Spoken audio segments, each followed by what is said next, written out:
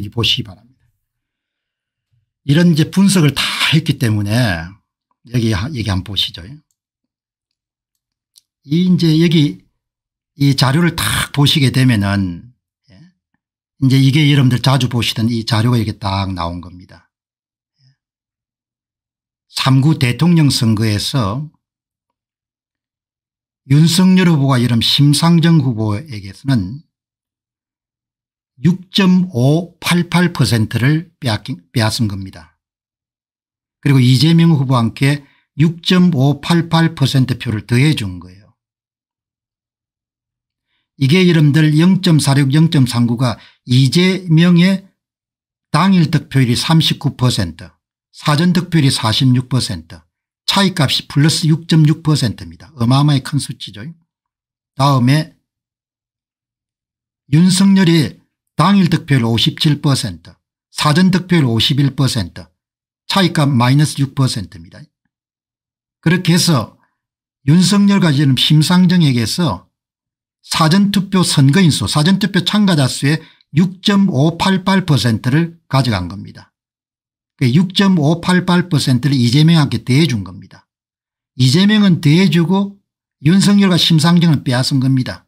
그 총표가 이동한 것이 사전투표 선거인 수의 13.2%를 표를 이동시킨 겁니다. 이런 것이 다 컴퓨터로 자동적으로 다 계산이 되는 겁니다. 예.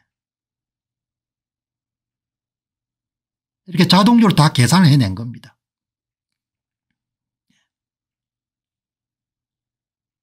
그러니까 여러분 이게 보시면은 여기 0.46 0.39란 수치가 예, 이게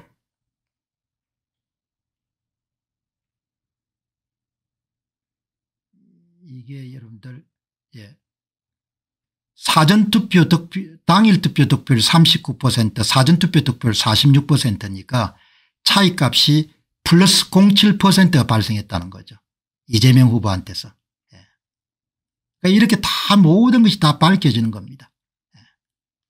그리고 이제 여기에서는 선관위가 발표한 자료를 보게 되면은 당일이 100이면 사전이 123 이렇게 이례적으로 큰 거죠. 이재명 후보한테만. 그런데 윤석열 후보는 당일이 100이면 사전이 여러분들 94표가 나올 정도로 수치가 줄어든 거죠.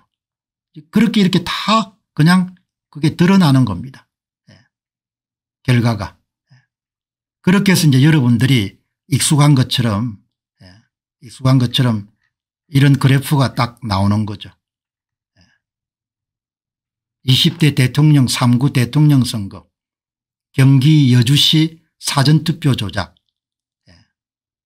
그 이렇게 보면 은 15% 15%를 가져갔고 사전투표 선거인수 기준으로 30%의 표가 이동했고 예.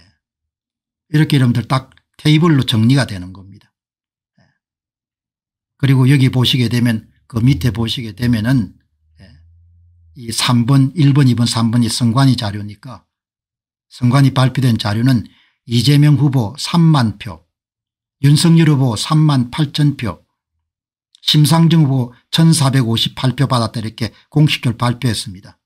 그런데 일본의 사전투표 후보별 득표수가 손을 댔다고 보기 때문에 15% 이름 손을 댄 것을 다 되찾아 가지고 4번을 구한 겁니다. 진짜 후보별 사전투표 득표수 그래서 여러분들 진짜 총득표수를 구해보니까 이재명이 선관위가 3만 표를 받았다고 했는데 2만 7천 표밖에 못 받았고 윤석열은 2만 1천 표를 받았다고 발표했는데 진짜를 구해보니까 4만 1천 표를 받았고 심상정은 845표를 받았다고 선관위가 발표했는데 진짜를 보여니까 1568표를 받았고 그래 진짜로 여러분들 예, 여기 여기 보면 3 3만 표 3만 8천 표니까 한 8천 표 차로 윤석열 후보가 3구 대통령 선거 경기도 여천시에서 승리했다 이렇게 발표했지만 진짜를 구해보니까 13,776표로 승리했다는 거죠.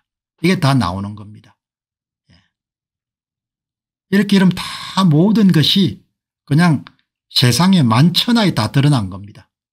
예. 그게 이런 모든 결과는 어떻게 드러나게 됐냐 예. 그거는 제야 전문가 윤행에서 이름 드러난 게 아니고 예. 그게 드러나게 된 것은 선관위가 발표한 후보별 사전투표 득표수 요 수치입니다. 이거를 발표했기 때문에 발표할 수밖에 없기 때문에 이거를 그냥 다운로드를 받아 가지고 분석해 가지고 여러분 정확하게 이렇게 선거 결과를 15%가 여러분들 조작이 된 게 그대로 이제 드러난 거죠. 15%가 여러분들 밝혀진 게 이렇게 다 조작 상태가 다 찾아진 겁니다. 모든 전국의 이름 다 모든 지역에 이런 분석이 다 가능하니까 얼마나 여러분들 대단한 겁니까 그 이제 우리도 연구를 해보면 그렇지만 처음에는 뭐 예를 들면 강가에 부연 안개처럼 잘 안 보이죠. 예, 시행착오를 하면서 이렇게 계속 추적하다 보면은 그 숨겨진 비밀 실체를 점점 접근하게 되는데 지금 이제 어느 정도 단계인가 하니까 제야 전문가 지금 입장이 몇 달 동안 때리 파다 보니까 그냥 이제 꿈을 꿀 수 있을 정도의 수준이 된 겁니다. 아, 이 사람들이 이렇게 조작을 했구나. 프로그램은 이런 식으로 돌렸구나. 그런데 예주시에서 15% 대신에 50%를 왜 조작을 못했냐. 그건 발각될 수밖에 없기 때문이구나. 이렇게 여러분들 답을 구해낸 겁니다. 네. 자, 여러분 대한민국 선거는 다 사기 선거입니다. 그 사람들은 뭐 그렇게 인정 안 하겠지만 예. 그냥 컴퓨터를 가지고 다 숫자 놀이를 한 겁니다. 컴퓨터를 가지고 숫자를 다 만든 겁니다. 그냥 숫자를. 그 숫자를 가지고 이제 당선자 낙선자를 결정하고 그걸 국민들에게 버젓이 발표한 겁니다. 그리고 선관위의 사무총장이라는 사람은 관리 부실입니다. 부실 관리입니다. 뭐 이렇게 이야기한 겁니다. 예. 뭐 여러분들이 이 모든 종류의 분석 작업의 핵심은 뭡니까 출발점은 선관위가 발표한 후보별 득표수입니다. 후보별 득표수에서 모두 다 사전투표 득표수는 다 만들어낸 숫자입니다. 사전투표 득표수를 만들어냈기 때문에 총 득표수를 다 만들어낸 겁니다. 이런 짓을 2017년부터 한 겁니다. 예. 윤석열 대통령이 당선되고 나서도 한 겁니다. 총선 때 안 하겠습니까? 하죠. 더 심하게 하겠죠. 예. 이런 것을 감사원에 있는 사람들이 제대로 할지 뭐 지켜봐야겠죠. 이제 뭐 숫자를 어떻게 만든지 뭐 그런 게 다 드러났지 않습니까 오늘 여주시 사례는 그냥 뭐 전국 사례입니다. 예. 원하면 뭐 다른 데도 다 밝힐 수가 있는 거죠. 예. 그러니까 뭐 그냥 컴퓨터 게임을 한 겁니다. 막 15% 넣었다 20% 넣었다 30% 넣었다 뭐 종로구 30% 중구 25% 성동구 25% 지방선거 뭐 부산시 20%